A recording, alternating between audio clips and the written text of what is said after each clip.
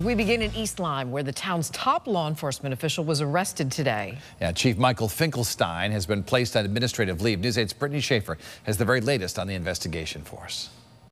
East Lyme Police Chief Michael Finkelstein on the other side of the law, arrested by State Police Major Crime Detectives Wednesday, facing charges of disorderly conduct and second degree breach of peace over a domestic violence incident. I met with the chairman of the police commission and then the um, chairman and myself jointly met with uh, Chief Finkelstein, and uh, we did uh, have to suspend him administratively uh, with pay uh, until this is resolved. The arrest warrant released tonight reveals there was a struggle between the 53 year old and a woman over a cell phone that she says ended with him allegedly hitting her in the face, though Finkelstein claimed the victim hit her own face while attempting to pull the phone away from him. The warrant does say the woman had injuries to her nose, upper lip, and chin. According to First Selectman Dan Cunningham, Finkelstein has led the department for three years. Highly regarded, and he took our uh, police department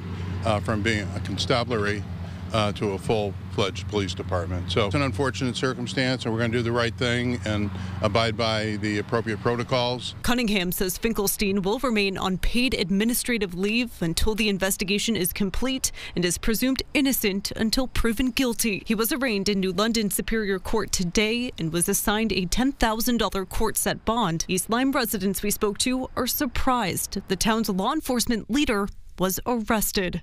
I'm shocked to hear that. I know the chief and I know the police department is an excellent department, and the chief is very well regarded in this town. That's obviously very shocking. I mean, you think of the chief of police as being the, the top exemplar of law and order, sign that democracy is working in the sense that no one is above the law. I did speak with acting police chief Lieutenant Michael Macek at the department today. He declined to speak on camera, but assures me that the department will keep operating at their highest standard. In East Lyme, I'm Brittany Schaefer, News 8.